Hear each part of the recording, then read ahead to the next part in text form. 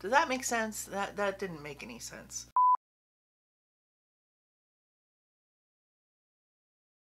Hi everyone, welcome back to my channel. Thank you so much for joining me today. I expect today's video to be pretty short, pretty sweet. Um, I did want to try for you on camera. Now this is not a first impressions. I've worn this three times already, but I did want to share my thoughts on the, the newest uh, Huda Beauty foundation. This is the, um, let's see, this is the Faux Filter Luminous Matte Foundation. I actually really like this foundation. I was surprised. Now I had never purchased the the first one, the one that had the fragrance and, and so forth that probably pretty much everybody has heard of. I just, I never wanted that fragrance for myself. So I was like, yeah, I'm going to pass on that. Plus I knew it was a super full coverage foundation and that's not really my jam. This is also pretty full coverage and it is a, a luminous matte. Now I was I was surprised by the finish of this foundation. I really was. I really like it and, and it is a luminous matte. I don't know exactly how they accomplished that but there you have it. Uh, I find that I do need to moisturize well when I use this and so I have done that and I've got some sunscreen on and uh, you can see that I've got part of my makeup on. I've got my my eyes partly done anyway. But I wanted to just jump on camera and do this foundation for you guys so that you can see how it looks. I have the shade Shortbread 200B, which is the same shade that I got in the stick foundation from Huda, which I don't like. I generally don't like stick foundations, so that wasn't too much of a surprise. But it's the kind of thing that I can put in my purse and, and like sort of spot conceal and, and that kind of thing with. So, you know, I, I went ahead and kept it. But it, it, as far as wearing it all over, I don't don't care for that one. But this I do like, and um, I don't think there's anything I want to say beforehand. Hopefully, you will just you will be able to see, you know, what I see, and uh, yeah, let's just go ahead and jump into it and I will put this on for you and then I'll go finish my makeup and, and come back and give you some, some final thoughts on this. So I'm going to scoot in just a little bit so that you guys can see what I think every one of my foundation brushes is dirty pretty much, which, which means that I need to wash some brushes. But today I'm going to go ahead and use the Rare Beauty one, and I haven't used this one very much but uh, it's it's nice enough. I, I don't know that you need to, you know, run out and purchase it or anything like that. I'm going to take two pumps, I think, on the back of my hand. That's that's a lot. This is quite a thick foundation. You don't need to overdo it. I am going to put this on with a brush, but I'm also going to go over it with a sponge because that's typically how I like to wear uh, my foundations. So we're just going to stipple this on and I do like the color of this one quite a bit. So uh, I was I was happy about that because I didn't like color match or anything like that at Sephora when I went in for this. I knew that the shade of the stick one was pretty pretty good. So I thought I'm just going to go with that and if it's, you know, absolutely horrible then I will, you know, exchange it if I like it or or not if I, you know, I'll just return it if I don't like it at all. But I do like it. So I am going in with a stippling motion and I'm just pressing that into the skin. And I don't tend to like buff my foundation. I tend to sort of, oh, like I say, stipple, so sort of bounce up and down with a little bit of swiping depending on what I'm doing but that seems to work pretty well with this foundation. So that was about half of what I pumped out and uh, I still have um, enough I think to do the rest of my face. Let's find out. Like I say, I've only worn this a couple of times, but I was pretty impressed with the the wear time and the way it looked on on my skin. I'm not a big like matte foundation person. I just, I tend to not like that kind of finish on myself. I tend to like things that are a little bit more satiny or um, I don't really like dewy stuff and I certainly don't like um, which one is it? Is it the It Cosmetics one that's really um, like illuminating? I can't remember if it's that one or one of the old Becca ones or anyway I I don't tend to like that kind of finish either so I was you know glad that it wasn't that and I'm glad that it's not just like totally flat because I don't like that either.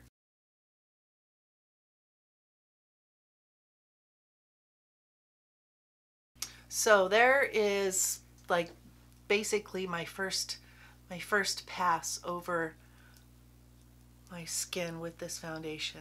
I, I don't know how they did it. I don't know how they did the whole sort of luminous matte thing, but they seem to have accomplished it. So as with all full coverage type foundations, I tend to be pretty sparing in the like the center of my face around my nose and my mouth because that's where I don't like most foundations that's where I don't like the way they look. So I have a sponge and it's it's pretty dry actually. I washed it the other day and so it's it's a little tiny bit damp but mostly it's dry and I'm just to bounce over this and I'm to focus this in the center of my face. This is one of those foundations that like I say you have to you have to be sure and you know prep your skin well whatever that means for you. For me it means lots of moisturizer and exfoliation and, and that kind of thing because it can, like all matte foundations, it can kind of cling to dry places and stuff. So I brought it kind of far up under my eyes here and I probably shouldn't have done that, but I think I will go ahead and put just the tiniest bit of concealer on. This is just the Giorgio Armani one that I typically use. And I'm being very um, minimal with this because I don't want a lot of product under my eyes right now because you know it's winter it's kind of dry um, the heat's on all the time and and so I try to keep that at a minimum in order to keep my under eyes from looking too oh crepey and and and just dry in general. But uh, hopefully you guys can see the finish of this and it doesn't like cover up every single little thing. I mean, I can still see little things peeking out and, and stuff, but generally, I quite like the amount of coverage that this gives me. And I don't usually go for a super like full coverage type of foundation. I just I'm just not that into it. For this, it's it does feel a little a little bit tacky, but not too bad. I'm going to go ahead and put a little bit of um, contour and that kind of thing, and I'm going to use some cream products.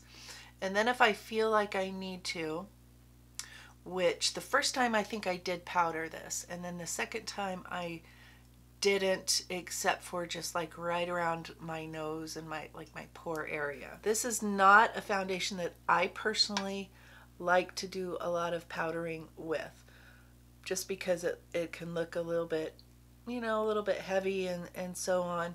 And that's all right if you're doing pictures for Instagram or something like that. Nobody's going to really pick up on that. But like in real life, it's not really, you know, it's not really that good of a look. Pictures in real life are a little bit different. And I try to do as much sort of real life makeup, at least you know, most of the time, what I actually will go out there and wear. I'm going to go ahead and take a little bit of that and go around the perimeter of my face just to bring in a little bit of color around around there. So I'm going to go ahead and powder a little bit under my eyes. So I'm going to go into a cream blush. This happens to be the one from Morphe 2 and I'm going to add a little bit of blush to my look here. So I'm going to take the tiniest, tiniest bit of powder and I'm just going to go over my nose and my, like my pore area. Just a little bit. All right, I'm gonna go ahead and finish my makeup and I will come back and give you a few final thoughts on this foundation. I will list everything that I use down below, of course, as always. Most of this stuff is, uh, you know, stuff that I've used a zillion times before or had in my collection, so nothing is new on my face. Uh, I did use the Venus XL, um, let's see, yeah, the Venus XL palette for my eyes today. And mostly I just got this out because I hadn't used it for a while. I knew that I liked it because when I first got it, I wore it a lot. But I hadn't done like kind of a pinkish, reddish, cranberry type of look for a hot minute. So I wanted to do one today just for just for fun. I'm not even going anywhere today, but um, I've got like a million things to do down in my studio and I wanted to get some filming done. And so, you know, I just pulled out something that I knew I would like and, and hadn't used for a while. So let me go ahead and finish my makeup and I will be right back. Hi guys, I am back and I've got the rest of my makeup on. As I mentioned, I will list everything down below. Um, it's all kind of the same stuff that I've been wearing. One thing that I did get out um, and open a new tube of that I, there, there are basically two mascaras that I like the one that's usually in my description box, which is the Thrive Cosmetics one, and then this one from Maybelline, the Snapscara.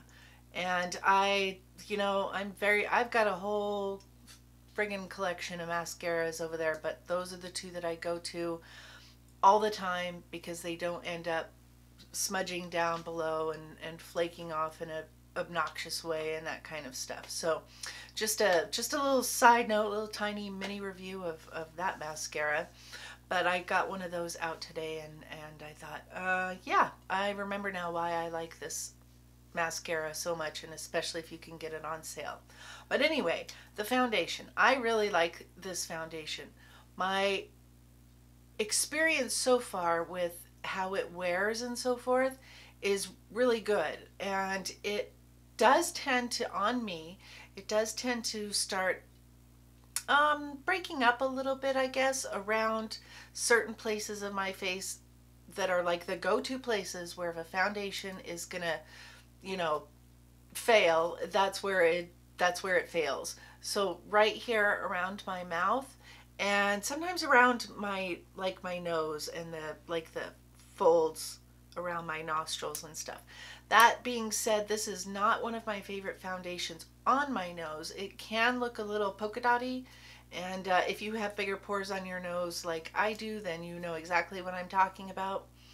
If I were going out for like a special occasion or something like that, or hell, even just going out without having to wear a mask in public, that would be super nice. Maybe we'll get there someday. But I would probably just put a different foundation on my nose. That sounds like really high maintenance, and it kind of is, but I do have foundations that I like the way they sit on my nose, and this is not my favorite. It's not horrible, but it's not my favorite, and it requires a pretty light hand. And so, you know, for that reason, I I discount this a, a star, I guess, if I were to to rate this. So like on a scale of 1 to 10, I'm going to give this a nice solid eight, I think. Um, it's not like perfect, it's not holy grail status, but um, I do really like it. I think I will continue to wear it, especially on days when I want a little bit more of a fuller coverage, um, like I say, as maybe a special occasion, like out at night or something, um, where I really want my skin to look super nice, super like covered, you know. Like I say, this is not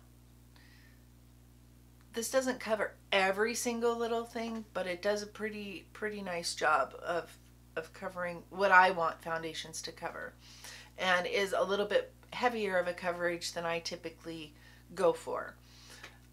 It does not settle too bad like into my forehead lines, my which are pretty bad right now because I haven't done my Botox in months and months and so it's pretty much all worn off and so almost everything will want to sort of settle in those lines. So if you have expression lines that you that you know tend to crease or collect foundation, then just just be aware of that. And uh, you know, maybe powder a little more, go with a little lighter hand, something like that. But overall, I really like this foundation. I think it, it wears nicely. It is a illuminating, luminous matte foundation, however they managed to do that. I did spray this, by the way, because I almost always spray my foundations, regardless of, you know, what kind they are. Uh, and I used, let's see, I used the, the collab one, which is the one I usually use, that or the Urban Decay All Nighter, um, just because that's usually what's at hand for me. But I think I'm going to leave it there, guys. I am not going to come back for a check-in or anything because like I say, I personally have worn this a few times now. This will, I think, make the fourth day that I have worn it. But I think I'm going to leave it there for today, guys. And uh, do, you know, if you decide to check this foundation out and everything, let me know what you think about it down below. Or if you get a sample and, and decide against it, I'd be really interested to know why you do or don't like this particular foundation. So thanks so much for joining me today. I really appreciate your time here. Don't forget to give this video a like, a thumbs up, and subscribe if you haven't already. And until my next video, bye guys.